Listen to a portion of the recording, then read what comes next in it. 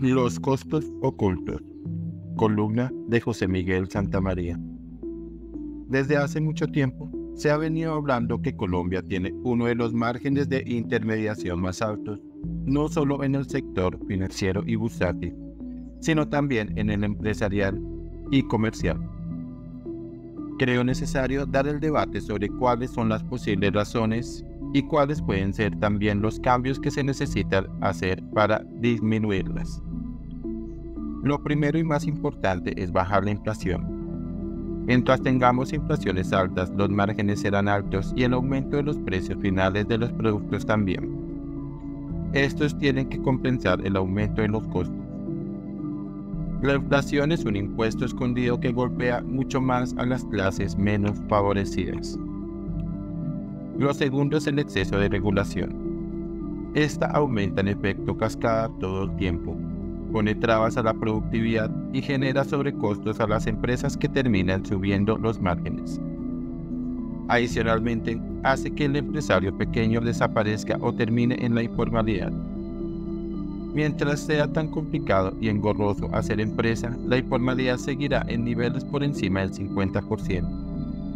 Esto implica menos ingresos en impuestos, menos cotización a pensiones y menos pagos de seguridad social. Tercero, los altos impuestos directos e indirectos que tienen las empresas. Esto hace que llegue menos inversión porque se generan menos retornos o que se aumenten los márgenes para lograrlo.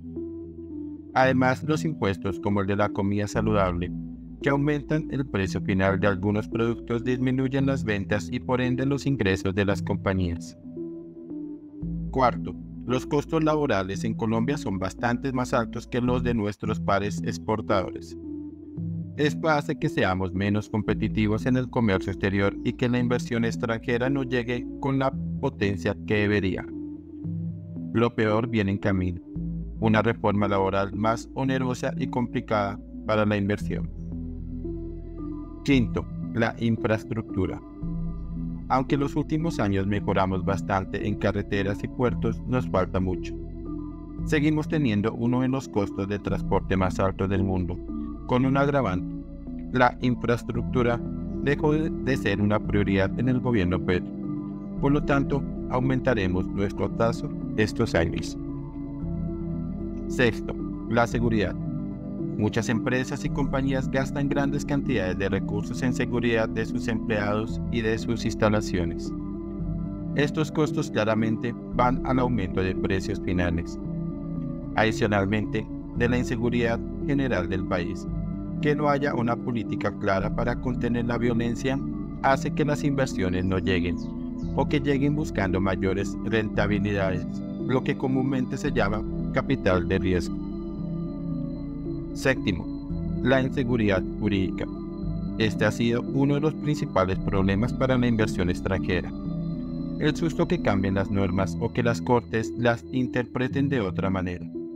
Somos unos monstruos para hacer leyes de todos los pelambres, muchas de ellas irrealizables, que solo terminan parando el aparato productivo y la inversión. Podría seguir enumerando muchas más razones por las cuales tenemos en Colombia unos márgenes de negocio e intermediación elevados.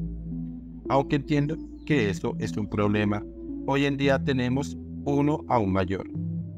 El gobierno actual es ideológicamente contrario al libre mercado, a la inversión extranjera y a la iniciativa privada.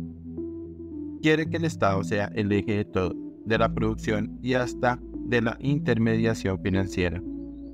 Mientras sigamos por ese camino, no hay mucho que hacer.